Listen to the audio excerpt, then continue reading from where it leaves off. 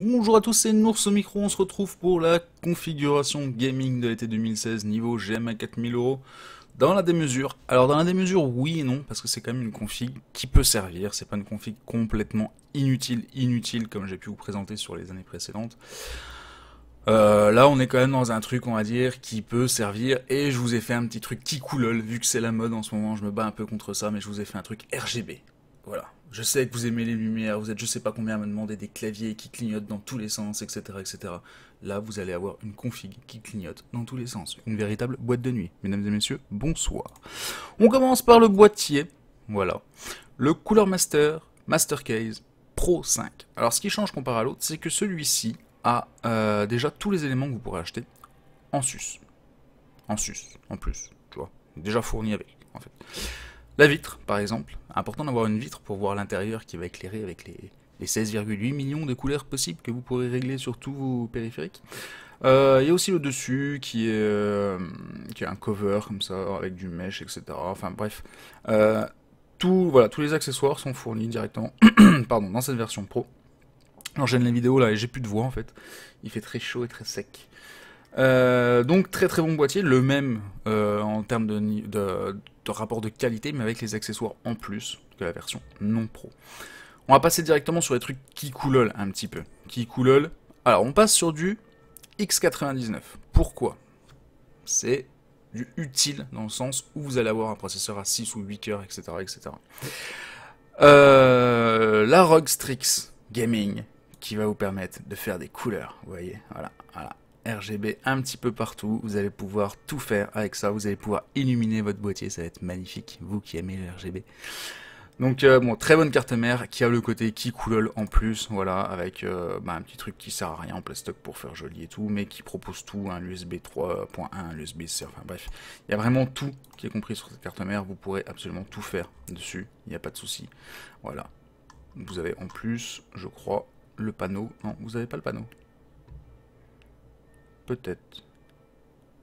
Si, il doit y avoir le panneau. honnêtement, celle-là, je l'ai jamais montée. Hein. Les, toutes les autres configs que j'ai montées, celle-là, je l'ai montée. Mais euh, il n'y a pas de souci, faites-moi confiance, ça devrait passer.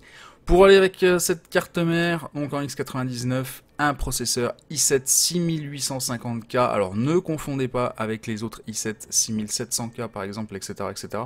Ici, on est bien sur le socket, vous le voyez, 2011-3, donc qui va avec les chipsets X99.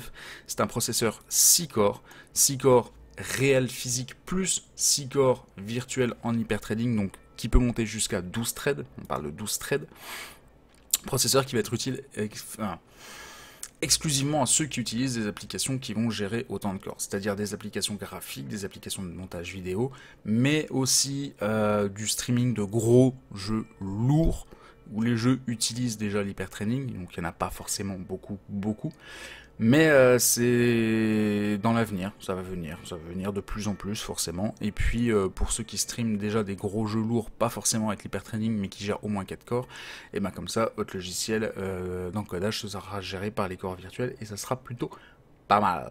Donc euh, cher le processeur quand même. Vous voyez qu'on est au prix d'une entre la config bronze et la config euh, silver rien que pour le processeur. Ça pique un petit peu. Mais euh, voilà, 3 Go 6, c'est pas énorme énorme, mais c'est overclockable. Vous pourrez monter à 4 Go 2 très facilement. Pour aller avec ce processeur et cette carte mère, eh ben on a pris de la mémoire avec des LED aussi. Oui, de chez Corsair, elle va illuminer en rouge Vengeance LED. Ah, ah ça c'est beau, c'est beau. Avec des gros dissipateurs qui vont vous permettre de overclocker aussi un petit peu la RAM. On est passé sur la 3400 MHz en fréquence. On est sur une gamme, voilà, au-dessus, on peut tout se permettre. Euh, overclocker un petit peu la RAM, overclocker beaucoup le processeur, etc. Avoir beaucoup de lumière, parce que vous aimez la lumière. Je troll bien sûr. Donc vous voyez, vous pourrez même euh, la mettre dans votre frigo. Vous pouvez mettre en fait, vous n'avez pas besoin de boîtier. Vous mettez la config directement dans le frigo ou le congélateur et ça va vous donner une ambiance un petit peu euh, futuriste de l'espace et tout. Genre vous allez au cœur de la Terre pour trouver où sont les origines humaines. J'ai arrêté la drogue. Pardon. Voilà, donc de la lumière encore, encore de la lumière et pour refroidir le tout, du water cooling IO. Alors je suis pas forcément fan de l'IO, mais alors celui-ci il fait de la lumière. Donc forcément il est bien. Vous voyez? RGB c'est bien. RGB. Et en plus un petit boîtier pour gérer euh, tous les ventilos, la pompe, etc., etc. Vous le voyez ici en action, c'est magnifique. Tac. Ah, Thermaltech, ils font des trucs tuning, c'est beau, c'est beau. Et ça ira parfaitement bien sur, euh, sur le boîtier Cooler Master, donc qui est vraiment euh, dédié à toutes les, tous les montages water cooling possibles dans tous les sens. Avec, vous voyez ici le petit boîtier qui vous permet de gérer votre IO en termes de vitesse, de rotation, de pompe, etc. etc. C'est très très bien, c'est joli, ça fait de la lumière. On continue dans la lumière avec la carte graphique, elle aussi, qui fait la lumière. C'est pour ça qu'il vous faut absolument un boîtier avec une vitre. Sinon, ça sert absolument à rien. On est euh, toujours chez Asus avec la version Strix, avec Aura RGB Lightning. Yeah, vous allez pouvoir avoir le logo Asus qui va s'illuminer sur votre carte graphique. Et là aussi, vous avez des petites bandes de LED. C'est beau. C'est beau. C'est beau, mais ça coûte 850 euros. Et dans la config, vous voyez que j'en ai mis deux. Et oui, parce qu'on va passer en SLI. L'intérêt aussi des processeurs euh, de ce type, c'est qu'il, euh, celui-ci par exemple, gère jusqu'à 40 lignes PCI Express. Euh, c'est-à-dire qu'une carte graphique en 16X va gérer, va prendre 16 lignes PCI Express. Donc vous pouvez en mettre deux, vous montez à 32. Et il vous encore 8 lignes PCI Express. Vous allez pouvoir bien sûr rajouter une carte d'acquisition par exemple ou une carte son sur du PCI Express. Il y a vraiment la place sur la carte mère qui est ici. Vous voyez, vous mettez votre première carte graphique, votre deuxième carte graphique, et ici vous pouvez rajouter votre carte d'acquisition par exemple ici ou ici. Euh, ici ça passera pas, mais ici et ici ça va passer, il n'y a pas de souci là-dessus. Voilà, on a fait le tour euh, des composants qui font de la lumière. Pour alimenter tout ça, bah, une grosse grosse alim. Alors j'ai vu forcément au-dessus euh, des besoins, je, pense concrètement hmm, qu'une 850 watts aurait suffi, mais on est sur du 1002, histoire de la démesure, voilà. Avec la certification Platinum, donc très très bon rendement. Euh, entièrement modulaire, c'est joli, il y a de l'aluminium et tout. Euh, j'avais fait la review de la V750 qui est actuellement dans ma config ici, là sur le côté, de chez Cooler Master, toujours en platinium. Excellente alim, elle tourne depuis maintenant, je sais plus combien d'années, et jamais aucune défaillance, donc vraiment très très bonne alim. Et j'avais déjà monté un SLI de 780 dessus, donc vous voyez un SLI de 780 sur une 750 watts, ça marche ça marche. Donc ici, 1002, on est vraiment au-delà. Et en termes de SSD, on est passé sur la version Pro du Samsung avec de la mémoire en MLC. Je vous fais rapidement, je vous fais pas un cours, mais je vous détaille. Les autres SSD étaient en TLC. Euh, ici, c'est de la MLC, donc c'est le type de mémoire qui est dedans, le type de fonctionnement, on va dire, multi-level. Euh, et euh, TLC, c'est 3 level, 3 level. Et, et en gros, c'est mieux, ça dure plus dans le temps. C'est pour ça que c'est la version Pro, ça dure plus dans le temps. Il est garanti, je crois, je sais pas si c'est 5 ou 10 ans. Je sais plus. 10 ans.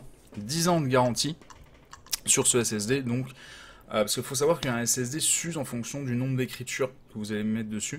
Euh, donc le MLC fait, euh, voilà, ça, garantit plus d'écriture. Je vais pas vraiment rentrer dans les détails. Ils arrivent à le garantir 10 ans, donc c'est vraiment c'est de la bonne cam. 450 euros quand même de SSD pour un 850 Pro 1 Tera. Donc voilà, si vous, euh, voulez rajouter du stockage en plus, je vous conseille de passer par un disque dur supplémentaire.